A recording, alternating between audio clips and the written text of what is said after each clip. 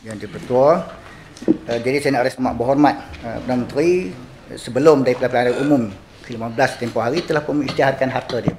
Dan aset itu benar. Ini bukan fitnah kepada PMX. Hmm? Aset yang dimiliki oleh PMX itu dia sendiri yang isytiharkan dengan nilai RM uh, 11.4 juta itu betul. Cuma kedudukan senarai itu oleh kerana tak boleh diterima oleh sahabat-sahabat Uh, sebab daripada love money kalau daripada bulutin mutiara mungkin uh, tapi ini oleh kerana uh, media barat yang level, selalu you tak mau. mungkin uh, kalau daripada ketimbang mungkin boleh dipertimbangkan. Jadi saya boleh uh, bersedia untuk tarik uh, senarai yang saya sebut uh, PMX kita berada di ranking ke-17 uh, senarai. Uh, pemimpin ini bukan tokoh korporat bukan ahli perniagaan usahawan itu lebih ramai tapi ini pemimpin sama sama daripada menteri ataupun presiden sesebuah negara ranking yang ke-17 saya boleh tarik itu oleh kerana katanya sumber love money ini tak relevan ah, dan sahabat-sahabat yang berhormat boleh rujuk pada finance Yahoo juga telah pun uh, senaraikan apa yang saya sebut ini jadi saya boleh tarik uh, balik kedudukan ranking itu tetapi aset PMX yang diisytiharkan itu adalah benar dan bukan fitnah.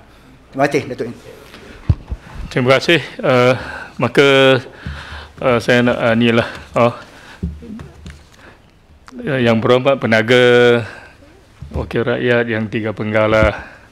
Dua penggal. Oh yo, saya nak tambah satu penggal lagi. next next term kita tengok lagi yang muka ya.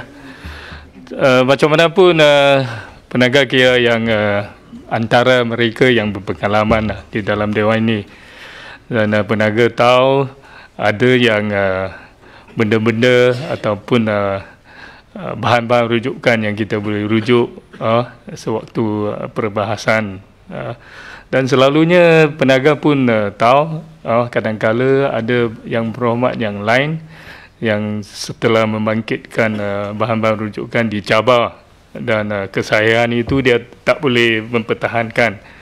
Uh, itu jadi biasalah uh, terpaksalah dia yang berhormat uh, kena tarik balik. Saya nak buat ruling lah uh, uh, seperti mana yang uh, penaga uh, tak sebut tadi uh, tarik balik dan uh, mohonlah maaf kepada dewan ini supaya dia tidak mengelirukan yang lain juga nak ceramah waktu politik keluar di dewan ini dan uh, bersedia untuk mengangkat uh, tanggungjawab untuk hadapi uh, uh, laporan-laporan polis yang tertentu lah. Di Dewan ini, saya nak selesai bab ini di sini.